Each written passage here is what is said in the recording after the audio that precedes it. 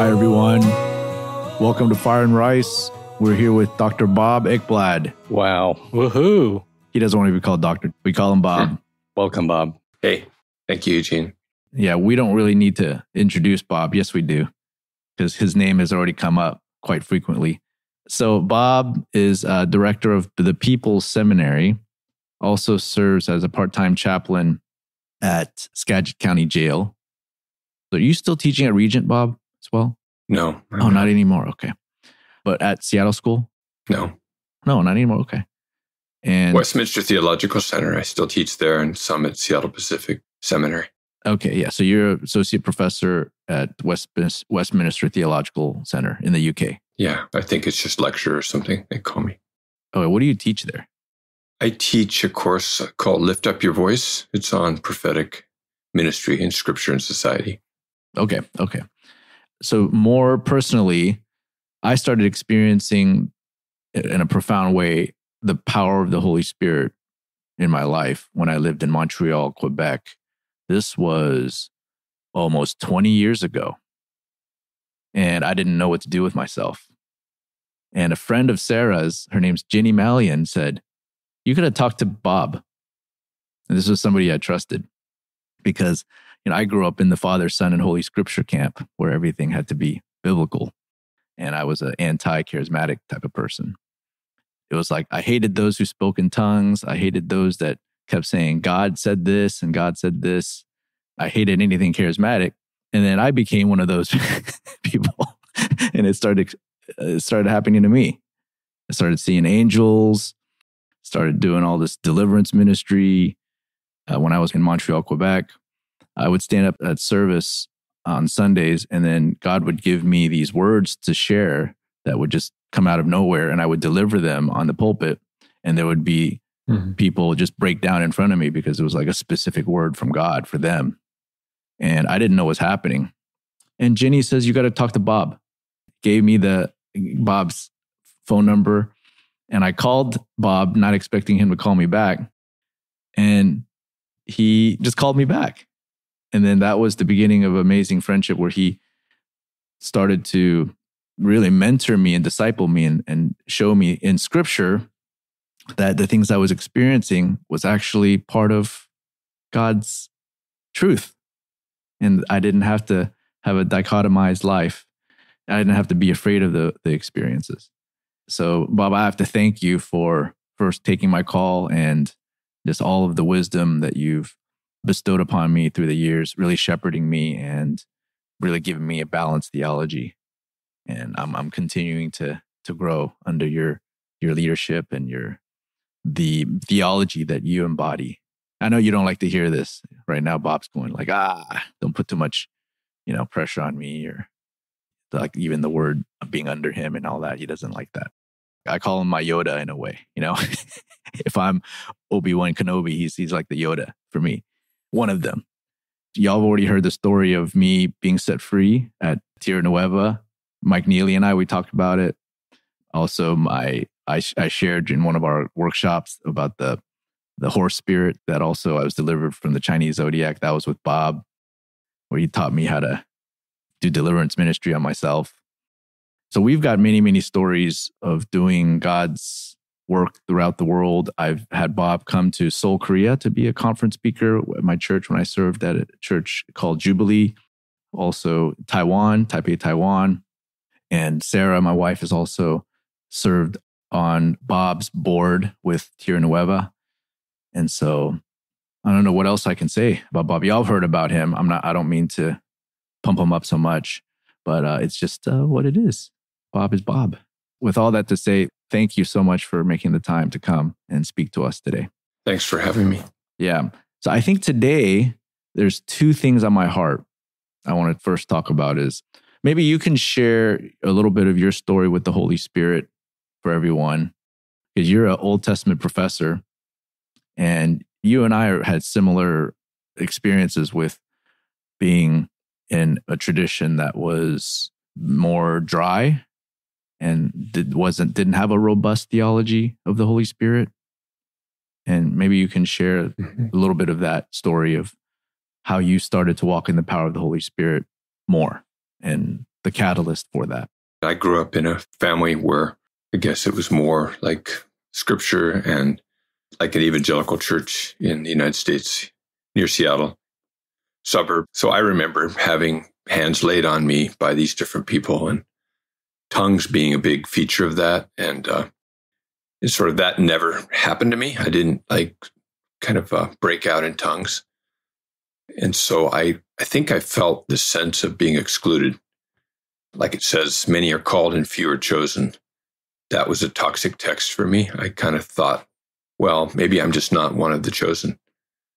Then I think I, I, I witnessed things just growing up in the church as a kid that caused me to, I guess, lose faith in the institution of a church, you know, just because I saw hypocrisy and I felt myself excluded by the evangelicals, not just the charismatics. It wasn't the charismatics that excluded me. It was more like I felt like I just didn't have that experience of the Spirit, you know, that was supposed to be the sign, I guess, of being baptized in the Holy Spirit. Mm. That didn't happen to me, even though I felt like I was open to it. Are you speaking more about tongues itself? I was speaking about tongues, yeah. And I think that in Pentecostalism was the main sign that you're filled with the Holy Spirit, that you speak in tongues. And so, anyway, I remember being at a full gospel businessmen's meeting with my dad, watching this speaker get up. This is a, a room full of men in business suits. My dad was always very well dressed with a business suit, and I was uh, just a young kid with him. And the man up at the front started prophesying, or what he called prophesying he started naming and pointing to men in the crowd that were having, he said, were having affairs. Wow. And he was like pointing them out. I remember as a kid just feeling the terror and the shame. I remember just feeling like I want to hide underneath my table because I thought he's going to point to me and say, There's a little boy here who is grown up in the church, but he's never come forward because he's too embarrassed to come up into the front of the church and to an altar call. And I just wanted you to know, little boy, that if you're ashamed of me, I'll be ashamed of you. oh, that was kind of a, oh. that was another toxic text for me, right? Oh, man. And so I thought, okay, I want nothing to do with any of this kind of stuff. And I closed my heart to that a second time. So my first time was, in a way, closing it because tongues didn't happen to me. And then seeing this kind of prophecy happening that was very shaming mm.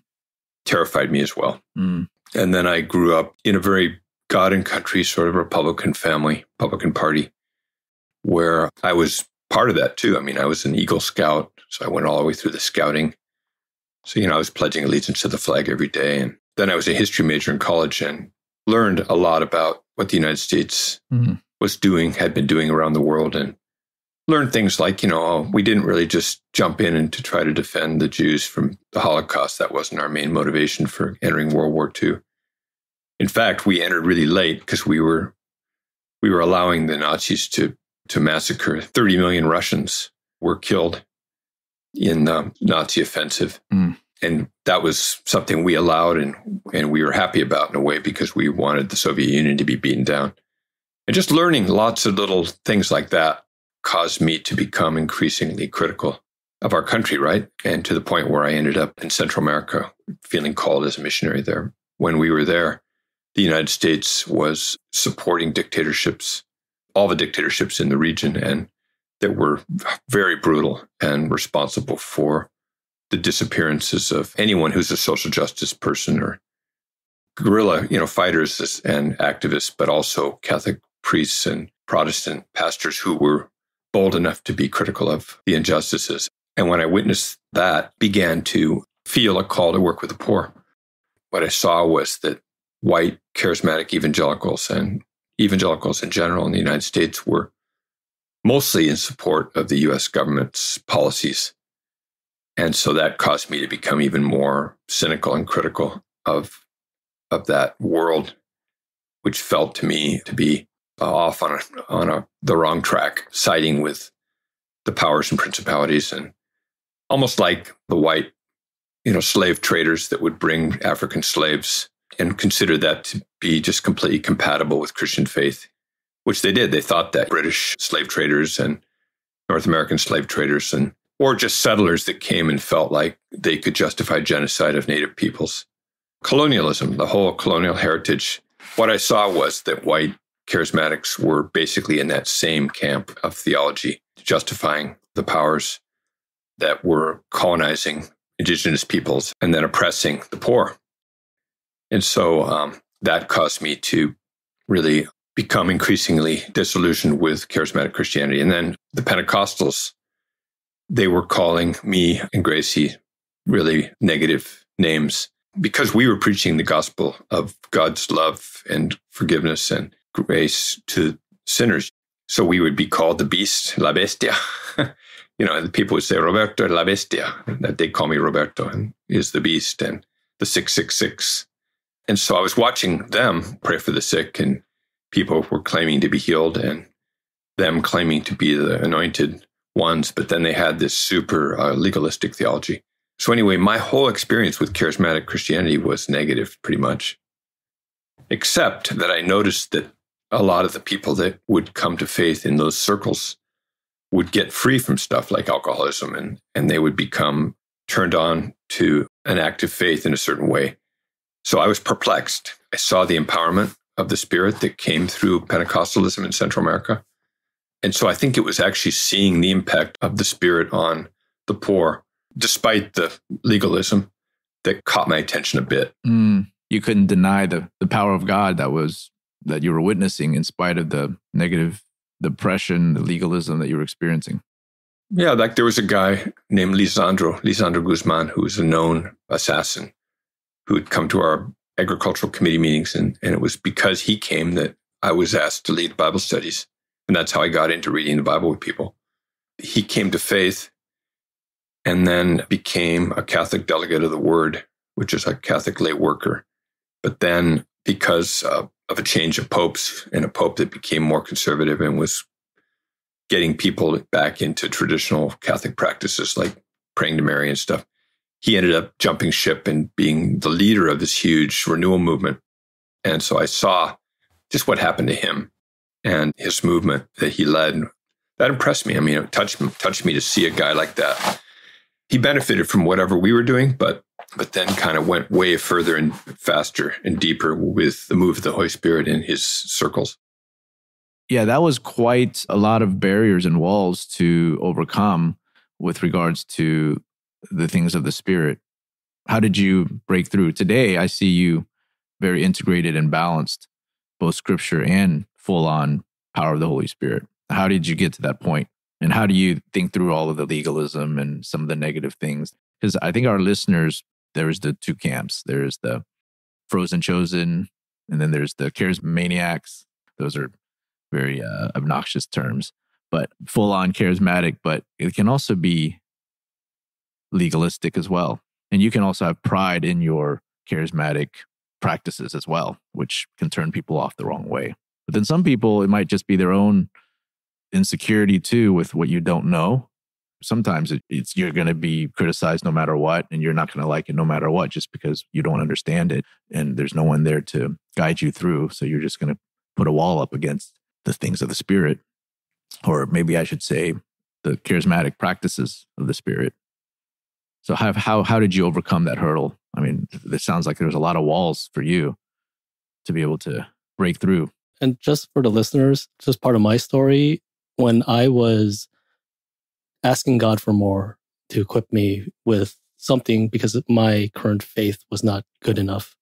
And that's when I actually, I think Drew posted a, a video about Bob Ekblad. It was Liberating Fire and it was about Bob's story. And so uh, I was actually, I think, watching that story about Bob, that's what actually softened my heart towards, I think, the more charismatic circles because I had all those presuppositions and mostly rightly so uh, that because me and my California upbringing, I'm very um, sensitive towards kind of the political spectrum and kind of where a lot of the kind of charismatic stuff kind of seems to reside. And so, oh, definitely, Charlie. Seeing Bob's story, hearing about it, really kind of changed my heart. And that's when I was like, okay, God, I think I'm ready. I know you'll protect me. And so let's hear that story, Bob. okay. So yeah, I mean, part of my our journey was we were in Central America all through the 80s and then felt called to study theology, moved to France, and were in a very academic and scholastic biblical studies theology school. I mean, we received a lot of excellent teaching and grew in our ability to read scripture.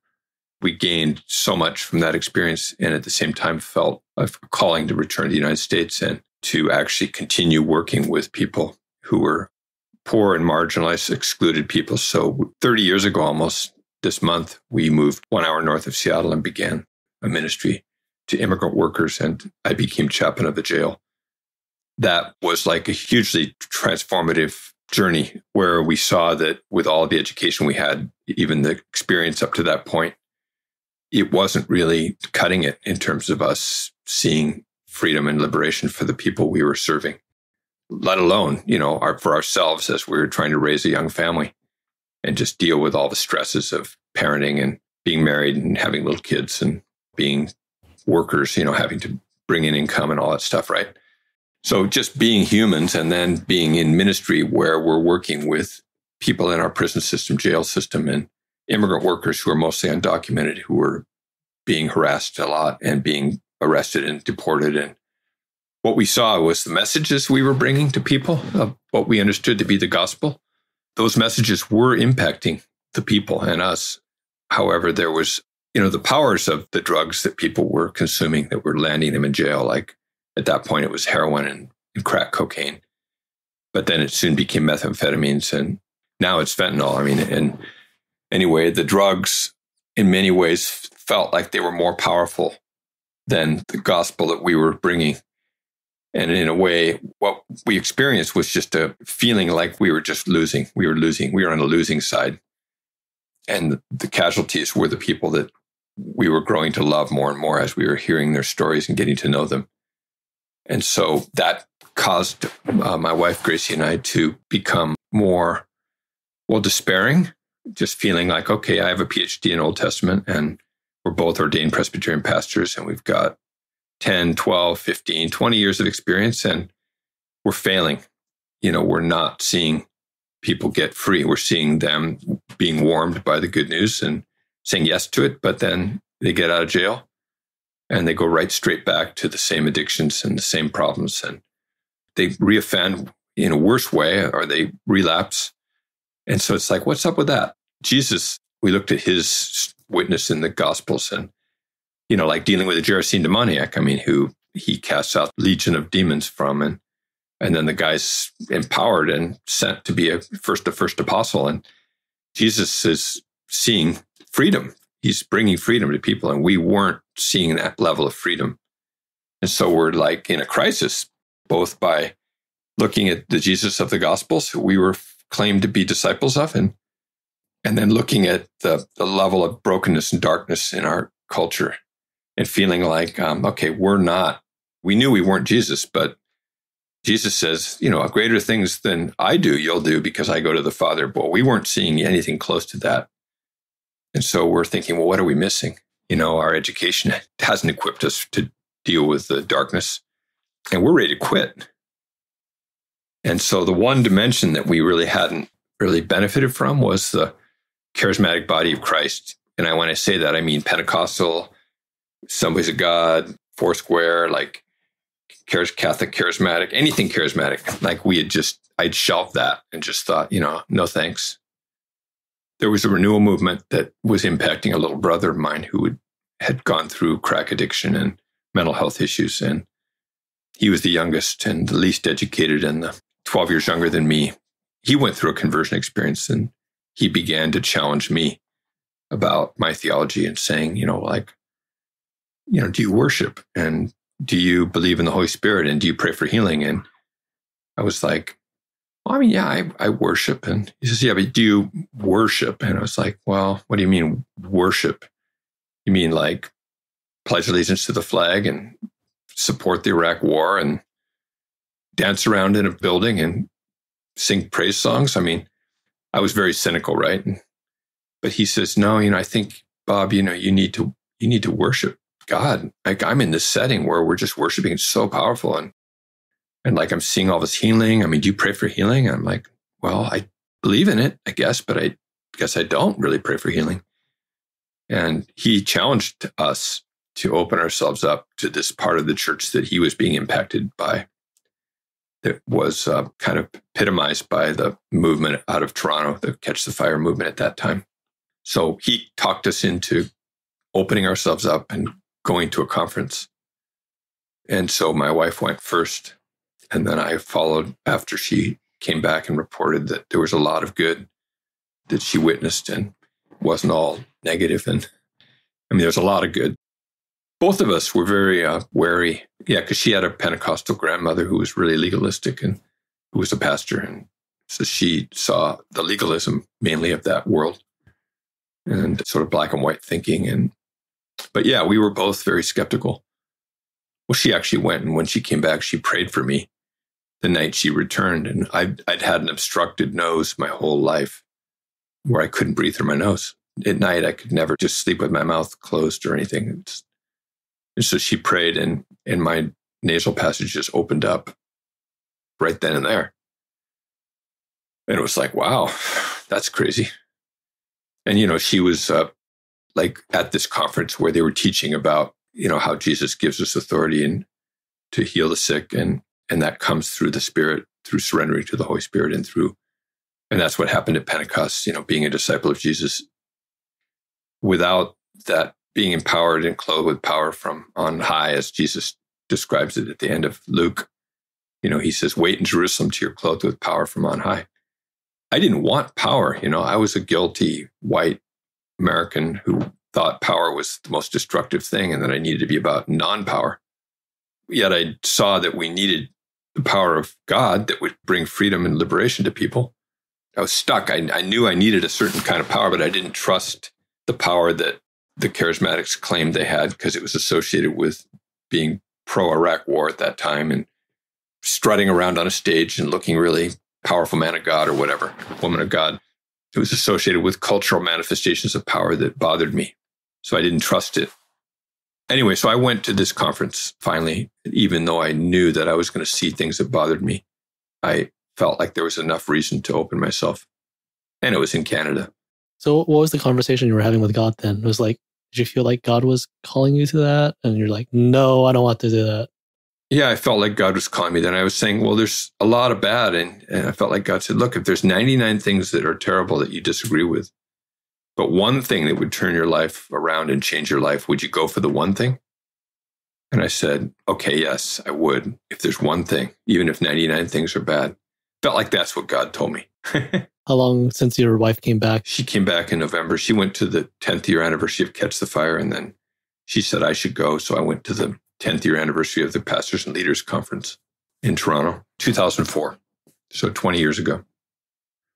So I went, and first thing I noticed was the worship uh, actually really, really powerful. And I found myself worshiping not with my hands in the air, because that was just culturally uncomfortable for me. I just was myself. But I noticed that as I focused on Jesus and as I was able to engage in the worship, I I found myself feeling like I was being pushed to the ground, like there was a weight or a hand on my back or something. Like if I went with the pressure that I was feeling on me, I'd be on my face on the ground. And I didn't know what that was. Then I began to realize it was it was the Holy Spirit. it was like there was a weight of the presence of God, I guess, that I was experiencing as I was worshiping with all these people. But then the first person, the, the leader of the movement, got up and said, I want to welcome all of you guys to this leaders conference and let's all have all the Americans stand up. And so he had all of us stand up, all of us who were Americans, but we were just, uh, there were people from all over the world there. And so I stood up uncomfortably and he said, You know, thank you. We just want to publicly acknowledge that you are the world's global police force. And we're so grateful that you're in Iraq. And uh, let's give the Americans a round of applause. And so I immediately sat down and I thought, you know, that's one of the 99 things that I was expecting to be bad. But I felt suddenly um, like affirmed in a way because my critique of that movement it wasn't based on nothing. It was based on a reality that was still present in the, in that movement. In a way, it was like God saying, "Yeah, you were right. That is there." And that is there now is much or more than it was then. You know, that aspect of that movement that is very dangerous aspect of that movement is with uh, what's going on with the political scene in the United States and in Europe and lots of places, the rise of authoritarianism and the belief in violence. Both of those have never been stronger, really, maybe in Christian circles, charismatic circles.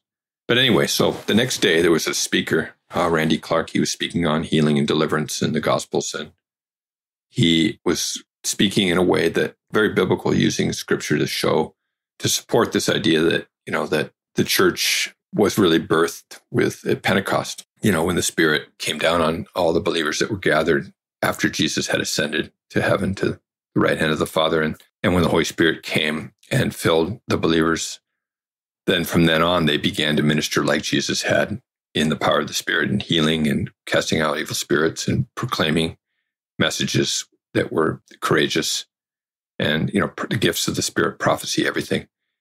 Everything was, the book of Acts shows us uh, an empowered movement of Jesus followers who were acting in alignment with the Jesus of the Gospels, Jesus, you know, the way he was being continued because of the Holy Spirit's being poured out. And uh, anyway, he was illustrating that, and and I knew that was all true. I saw that. I was I was in agreement with that message. I just didn't know how to live into it for myself. And so he was getting what he called words of knowledge, which I don't think they were. That's what they were. It's more like prophetic revelations he was getting.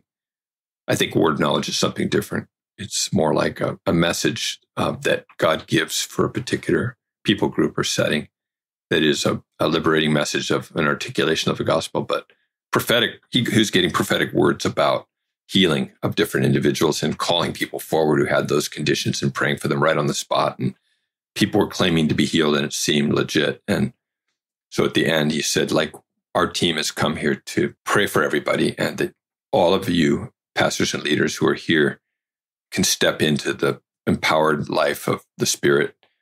And so come forward or go to the back of the church, wherever you want to go, just line up and we're going to be going to a time of ministry.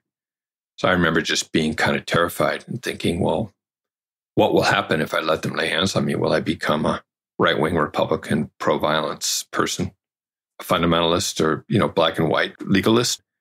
I had all my fears were there. And then I thought, you know, I liked the way the guy, Randy was Clark was speaking and thought he was had a lot of integrity and and I came here because I wanted to step into the ministry of Jesus in a fuller way.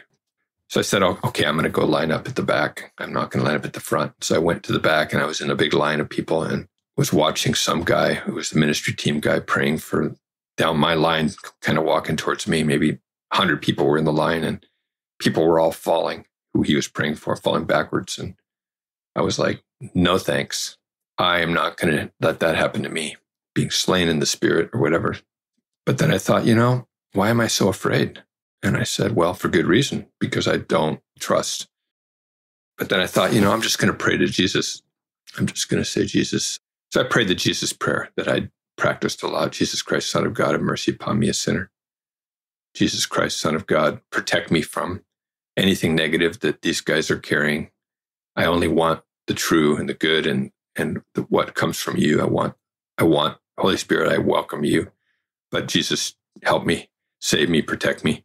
You know, I was praying away, right? And just not worrying about what was going to happen to me and trying to be willing to surrender and trust. Because I think a lot of what I was feared was losing control too. Like the idea of falling and being overcome by the Spirit was, in a way, it was my own pride that was at stake. And what was going to become of me? Would I look look like someone I didn't want to look like? Would suddenly I be one of these people shaking and flopping on the ground or or speaking in tongues and publicly and looking like someone that I had mocked in the past, in the recent past? a lot of it was my fear of surrendering. But on the other hand, I was ready to surrender. I was 46 years old, I think, at that time. And I was uh, tired and feeling like I was failing in a big way. I, and it wasn't like I was just feeling like it. I was feeling.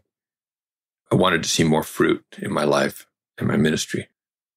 So there I was. I was praying away, and the guy got to me and he didn't even touch, put a hand up towards my head. And he just, he's a young British guy. And he just said, I see you in a circle of men in red uniforms sitting on blue plastic chairs. I think they're prisoners. And I was like, whoa, that's what I've been doing like numerous times a day. I mean, a week going into the jail, meeting with guys, and we've read jail fatigues and sitting on blue plastic chairs in our jail multi-purpose room. And, and my heart had been broken and deeply touched. I've been transformed by those, just those men. So he says, I hear the Father saying, I love how you love my prisoners. And I was like, whoa, okay. That's crazy. I've never heard anyone from that charismatic camp say anything positive about me. They'd always been like, you don't speak in tongues, you're not saved. You know, you don't pray for healing, you're not a true disciple. You're you're the beast, you're the 666, like you're a communist. All I'd heard was negativity from charismatics, right? So here's a guy who's like telling me that God is loves how I love the prisoners. But it was it was clearly God that was speaking through this guy because he couldn't have known anything about what I was doing every week for the last 10 years. So then he says, and I hear the Father saying, I'm going to give you fresh revelation from the Bible that's going to make your heart and the people's hearts burn. And that that's my favorite scripture, the Emmaus Road. So I thought, oh man, that's what I want. Thank you, Jesus. Yes. I was like receiving fully, right? At that point, my heart was open. Then he says, and now I hear the Father saying, I'm going to give you an anointing for healing so that your words will be confirmed by the signs that follow. And I remember at that point, I couldn't stand up. I was overcome by the Spirit. I, I fell backwards. I was on the ground. And I remember just thinking, no, no. And then I was like, yes. yes, no, yes, no. like, you know, thinking, okay, wow. I just felt this love and I felt like my hands were on fire too. They were like burning. And I just was laying there, just, and the guy was off to the next person, you know, and I just was laying there in this line of all these other people, just thinking, oh my goodness, like, wow, that is crazy. And feeling the burning on my hands and thinking, there's a new beginning here. Something's changed for me. And then the rest of the conference was just like more, and more, more, you know, like prayer, people prophesying. Then I ended up seeing this guy from the charismatic renewal movement in France who I'd known from my doctoral studies, who saw that what was happening to me. And then he invited me to travel with the leaders of that movement, including the guy that had offended me, and to go to France a month later, since I had my doctorate from the school in Montpellier in France that led to a shift, I guess, where I began to feel like I, I could trust that God was uh, moving through this connection with this new part of the body of Christ, that I could see that I had something to say to them too. But I had a lot to learn from them first. and so that's led to this long journey of friendship and and also confrontation struggle that continues today, right? Where I've uh, that part of the of the witness of the ministry of Jesus is is a part of of uh, who I am right now. So anyway, since that time, you know, I gradually began to pray for people. We saw just lots of people receive healing. And then also we've learned that it's complex and healing isn't it's not always instant. In fact, it often is. There's other dimensions. People have trauma, they have wounds that need to be addressed. There's a need for deliverance sometimes, often. And people need advocacy and they need to have their mindsets shifted. So there's a holism that's required that includes specialties of different parts of the body of Christ and Christian specialties, but psychology and, you know, recovery wisdom and like issues having to do with the courts and immigration law and there's a holism that is required to walk alongside people and to see freedom and growth for all of us. But it's, uh, I guess I feel that there's a real need for there to be a reconciliation in the body of Christ so that we can, we can benefit from each other's strengths and not be so divided. We're just in our own little silos or, and uh, missing out on key and core aspects of what it means to be a follower of Jesus that other people carry. Well, as I'm just uh, talking with you all, I'm just reflecting on something. I I realized that as a child, I would always hear about the Great Commission. It was emphasized by my family and by the church that we were part of. And I had a my grandfather's oldest brother. They were all Swedish. Uh, they grew up in in southern Sweden. My grandfather's oldest brother was a missionary in early part of last century in Inner Mongolia. So he went over, you know, with his Swedish wife, and they had two children. They were living in yurts and like really doing straight up evangelism among the, you know, the Chinese in Inner Mongolia. And his wife and two children died of some sort of disease. And then he went back to Sweden, found another wife, came across on the Trans Siberia uh, Railway, and um, his next wife had children. And anyway, they all died, and he kept persisting and uh, came back with another wife um, from Sweden. And uh, these Swedish ladies were pretty hardcore. This guy was the sweetest, humblest person, and he was all about helping people come to know Jesus and and be bring come into a place of transformation and so I think that evangelism was really a big part of my DNA. So the idea of taking the lives of people in war, like say defending ourselves against Russia, Russians, you know, Soviet Union or something, and killing people and maybe having to be a soldier. And, you know, the Vietnam War was happening in my youth and the possibility of being recruited to be a soldier. Uh, the idea of taking lives of people that weren't, didn't know Jesus was just like, felt like the most horrific thing I could ever think of. Like, how could I take the lives? Well, taking the life of anybody just seems so opposite of anything, everything that I grew up hearing about about Jesus.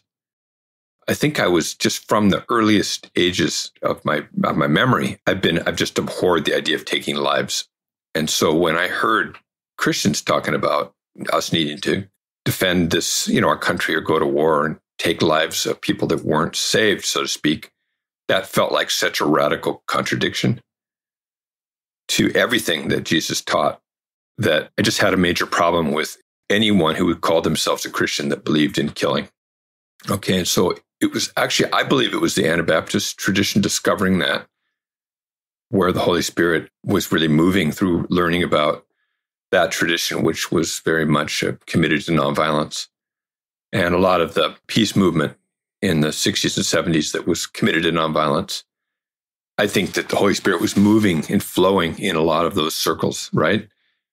And before that, I was very much influenced by Latin American liberation theology. And I think the Holy Spirit was moving through that movement very strongly and speaking to me, to my heart, about God's preferential option for the poor and the oppressed and the need to come in in a humble way, in a way lower than just like Jesus, you know, humbled himself and became obedient to the point of, of becoming a slave and dying the death penalty coming down low. And that liberation theology movement, which to me, the best of it was, was about these Catholic priests and women religious that were giving up all their high positions as heads of cathedrals and university professors and moving into poor neighborhoods. Very much Isaiah 58. This is the fast that I choose to unleash the bonds of the yoke and to let the oppressed go free. Like they were tied into that tradition or as you know jesus's quotation of isaiah 61 the spirit of the lord is upon me and he's anointed me to preach the good news to the poor. So the spirit i think was very much speaking to me all the way along through these different movements through liberation theology through the anabaptist tradition which i think brings a correction to some of the abuses of, of say liberation theology that also justified violence at times and so and the evangelical focus on scripture was also very part of, you know, the Holy Spirit was actively there. You know, I mean, I think of last night, my wife Gracie preached about spiritual warfare and about how the word of the sword of the Spirit is the word of God. And we were looking at how she was pointing out how when Jesus was baptized and he received the Holy Spirit, he was compelled or literally driven into the desert by the Spirit to be where he was tempted by the devil. And and the way he dealt with the temptations was when the devil said just turn if you're hungry you know if you're the son of god turn these stones into rock into bread. And jesus responded by saying it is written. And then he would quote scripture. And his whole strategy in empowered by the holy spirit to combat the tempter was to appeal to scripture to the written word of god it is written not even through like prophetic utterance. It was like he was drawing from the written word of God. So clearly, that tradition of valuing the written word of God is a huge, you know, inspired aspect of Christian faith. Okay, so there's these parts that we call word, you know, spirit, justice, word, spirit, street in our ministry, but the word part is important. The justice part is important. The spirit part was the part that I felt most uncomfortable with because I always saw it out of balance in a sense. So anyway, I wanted to just bring that in because I, I, I don't think it's just that the spirit is only manifested through the charismatic dimension of the church. There's the contemplative side too, where the Holy Spirit's super active in that the contemplative tradition of Christianity. Wouldn't you say that you always begin out of balance, Bob? Because of human nature. I mean, it's like experiencing a new toy. Yes. It's hard to have balance in the beginning. That may be part of this, uh, the spiritual life is to learn balance and to be submitted to the spirit and to not toss back and forth by the waves of everyone's different teaching. And even in First Corinthians, I follow Apollos, I follow Paul, well, I follow Christ. And you see the early Christians being out of balance. I don't know if I even know somebody that's like fully balanced. Even in the beginning with the apostles, you could argue Peter was very imbalanced. I don't think balance should be our goal. Nice. What do you mean? I think we should be faithful to, you know, to the, the word of God as God is as it's written and as God speaks it and as the Spirit leads us. And that's going to cause us to emphasize certain things at certain times and you know to have a specific message that is precise and that's tailored for a, a particular person or community. Yeah so it's going to be we're going to be bringing correction at times right? So it, it's not going to be the whole counsel of god every time we speak it's going to be one tailored specific word perhaps right that's awesome so just to see if i heard you correctly, balance isn't what we should be aiming for. I mean, that's like for me, like I want to make sure my theology is, is right. I want to make sure my practices are correct. But that's actually not the point, I think, is what you're saying. That comes as you're being directed by God, as you're just you're looking towards Jesus and just following him. And then just being on that path aligns you in the proper way for your current context. And so in practice, that might be you end up on one way or a different yeah. way. But that's not the point, right? It's like yeah, you're you're you're, you're following Jesus. You're, you're not trying to balance yourself out. Exactly. Following Jesus will naturally balance yourself out. Yeah, it's not our role to balance anything out. I think we just need to try to be faithful. I mean, Jesus talks about how important it is to abide or to remain connected to to him you know like as the vine so to speak using that metaphor of the vine and the branches. Mm, balance if it comes from a place of control because sometimes we're it's also people pleasing and trying to be all things to all people and it can be come from a shackling control where you're not really listening to god or what god wants you to say for instance Christ when he says, I only I only say what the Father wants me to say. I only see what the Father wants me to see. And that, that there's no balance in that, right? So I understand that part. But wouldn't you say pastoral leadership, Paul, Apostle Paul in, in scripture, there is a sense of balancing when he was shepherding the entire people of God, where there was a correction to say, hey, all right, let's be careful, charismatics.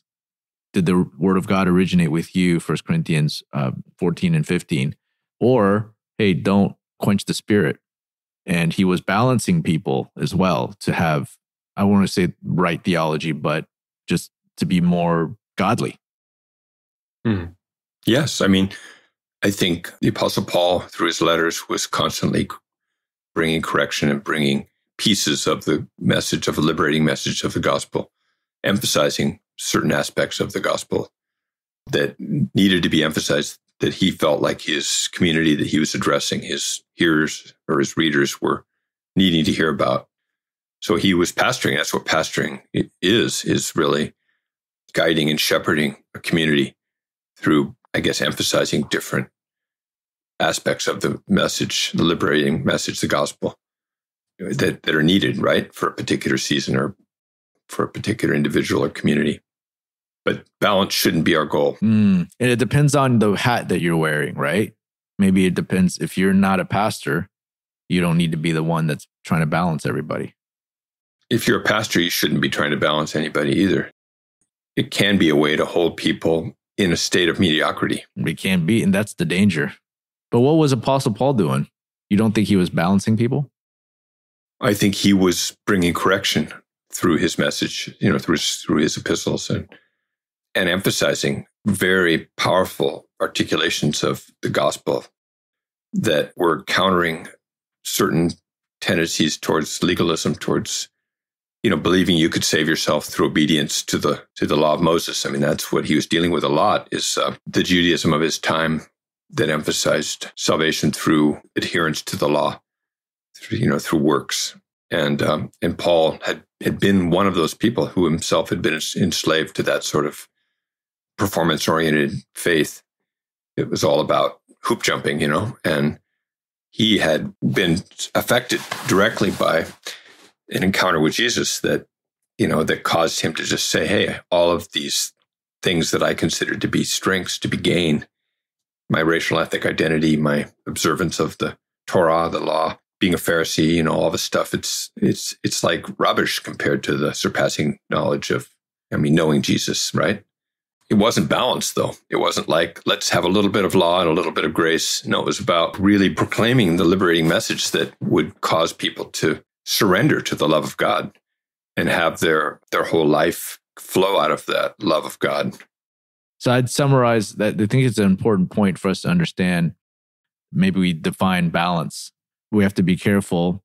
Balance mm, sometimes is another way to keep people mediocre and not fully operating in the power of the Holy Spirit. You know, what you said, Drew, about control is really true. I think balance is often an attempt to be in control. And uh, for me, that was the big issue. Like, I think I was terrified of losing control. Mm. I had so many judgments against um, the Christianity of my upbringing. Mm. I wanted to make sure that I wasn't going to become just some crazy person that looked like they were just uh, chattering away in tongues and looking ridiculous. And I didn't want to be embarrassed by just being out of control like that. Yeah. And where my hands waving in the air or something or flopping on the ground, you know, or manifestations, that kind of thing. I was terrified of losing control, but I was also terrified of, I didn't want to become a colonizer, sort a white supremacist, like, let's just kill the ungodly justifying killing and war and everything. I becoming like that, you know, associated with violence. So I was trying really hard just to make sure that I was walking the path that I needed to walk. But that can be about control, where I'm just making sure that I'm steering my own life. Okay. Whereas being able to really trust that surrendering myself to the Holy Spirit is going to be good. I wasn't sure that that was going to be good because those that claim to be surrendered, either to the Holy Spirit or to Scripture or whatever, often were seemed to be surrendered to other things like the American flag or their whiteness or you know their social class materialism. And so they claimed to be surrendered to the holy spirit but i think what i learned was it was all of us are a mixture. You know are we surrendered to the holy spirit completely and to jesus and being a disciple or are we also do we also have other idols? And it's the idols that that we have that cause uh, the troubles our, our allegiances I just want to call call out here that a lot of the criticisms that Bob had, I think, of certain maybe charismatic circles or something, those are rightful criticisms. And if that's preventing you from pursuing that, just know I was there too. The great thing about Bob's story, and I think of my story too, is that it gets to a point where the awesomeness of God is enough that you want to ask for more of that and that you need to depend on God to protect you as you're kind of entering these different circles that you're kind of scared of because, and rightfully so, because your criticisms of, I think, like the political stuff or just the, the posture of violence or the posture of power and, and systems of power, those are correct criticisms. But also just know that you too need to be sanctified. So even though you have those correct criticisms, you too, as you follow God more, as you kind of pursue more of that, God will reveal more to you about how you're unbalanced. But what that means is that we end up with a much better faith, one that has been sanctified and it achieves more of the balance that we're not, that's not the point, but you'll be closer to be more like Jesus. Yes, that's very beautiful. beautifully said, Charlie. So, Bob, you still have those criticisms today when in you and I's conversation, people flopping around with their with their arms in emotionalism and barking like dogs and doing all of these sensational, seemingly hyper emotional expressions of their faith. You still have criticisms of that today, but it seems like you're not as critical of that as you are the political stuff. That you seem more okay with that than the political ties, or, or if they use God's name to say justify Republican values or to support the Republican Party. Yeah, I'm more worried about manifestations like fingers on triggers that shoot to kill and hands over hearts that pledge allegiance to a flag and that cause someone to come under the power of a principality where they are unknowingly or beholden to something that is really has nothing to do with Jesus and the kingdom of God. I'm more worried about those manifestations than someone shaking and barking like a dog or in the ground or whatever. Me too. I, I, I treat that as more of a personality. There's you know all these different ways of expression. That's a cultural yeah preference rather than a moral preference. There we go. I think the manifestation of hatred is uh, you know hatred towards someone that you know that is other than you racially or even people's lifestyle choices you know like uh, hatred, when that is visible in, in a person who's a Jesus follower, including myself, that's a manifestation that needs to be taken seriously and addressed. You know, hatred and violence and rage and, and superiority and greed and things like that, right? I mean, what are the fruits of the Holy Spirit? Love, joy, peace, gentleness, kindness, self-control, like like that's what should be visible if we're actually aligned and and in the flow of being attached to Jesus, you know, abiding in Christ and being full of the Holy Spirit. If that includes, you know, some shaking and falling down and that kind of thing, I don't have any problem with that. I used to. I think I was terrified of losing control of myself. I'm less terrified of it now. Fear of man, men, women, people, and wanting to appear like together and respectable. That's something that I think I was imprisoned by that fear of man, fear of whatever. I mean, my sub my subculture, the people that I wanted to please and wanted to accept me. I think a lot of us are, are, afraid of that, and so we're not really available to do what God would have us do because we don't want to be look like idiots or be judged. Yeah, I think that's a good differentiation, Bob. I mean, we get so worked up over expression of worship and how people act in a worship service but then we don't have the same convictions with regards to their uh, politics and them using God for their own political agendas. Which, hey, if we're going to prioritize one to rebuke, it's definitely discernment that one is more important than the other. I've got a question. I guess this is kind of the big question probably for a lot of our listeners because it was a big question for me. I think I've settled it myself, but I'd like to hear from you, Bob. It's like, okay, so given these kind of proper criticisms of the political tendencies and tendencies towards political power and systemic structures, I'm trying to say this in a diplomatic way. How come these people, why do they have these spiritual gifts? Why is God blessing how come it seems to be mostly in these circles that the spiritual gifts seem to be manifesting and and why? Yeah, like the Bethels. And they obviously God has used them to course correct the body of Christ towards the prophetic, towards the charismatic giftings, which was is very much needed. But at the same time, there's this tie to the Republican Party that's very problematic. So, how is God blessing that? Or is God blessing that? Ministry. Our God is lion, the lion